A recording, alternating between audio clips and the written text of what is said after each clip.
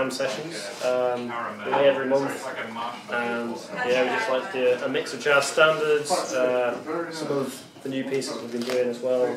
Uh, yeah, if you have any requests or if you actually play a jazz instrument, uh, we're you know very happy to have you up here. Uh, we always have a few guests. Uh, James and Emily, Emily actually, who was covering the band last year, and both nicely come back to, uh, to join us again. Uh, they're playing with us, and we'll probably have some, some other guests uh, later on. So thank you very much. Um, that was So What by Miles Davis, and next we're going to do a tune by um, a jazz guitarist called Wes Montgomery. Uh, so it's going to be called D Natural Blues. One, two, one, two, three, four.